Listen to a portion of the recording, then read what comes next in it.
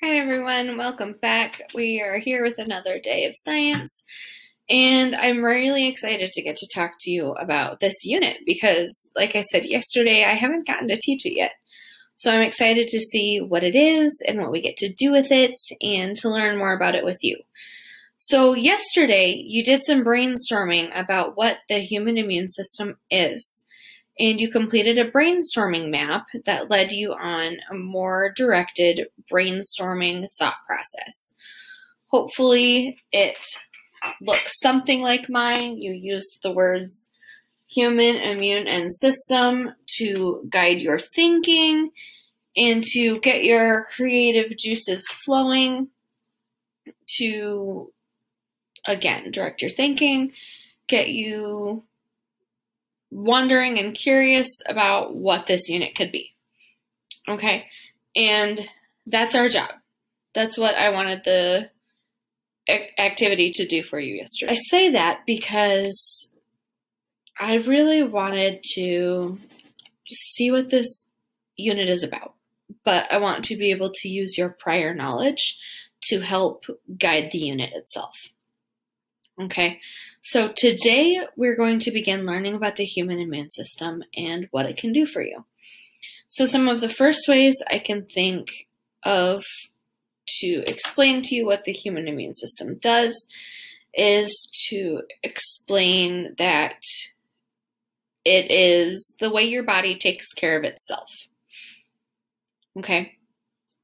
And it's your body's natural defense system against germs. Okay, it's the way of the body's, excuse me, it's the body's way of keeping you healthy all on its own. And it does that in a variety of ways, such as filtering or washing away germs or irritants rather things that irritate your body that shouldn't be there. Okay. One thing that comes to mind also is in your bloodstream, your body has things called white blood cells. Those blood cells are created to attack any infections that you may have. And that is something that you were born with. We are all born with our immune systems. Some people are born with great immune systems, some people are not. And that's why people have um, autoimmune diseases. They have, they might be born with a disease that means their body doesn't do a very good job taking care of itself. And that's not great. And so they need extra help to keep themselves healthy the way that you or I might be able to naturally on our own without any extra help. Okay. So, like I said, today we're going to begin learning about the human immune system, what it can do for us.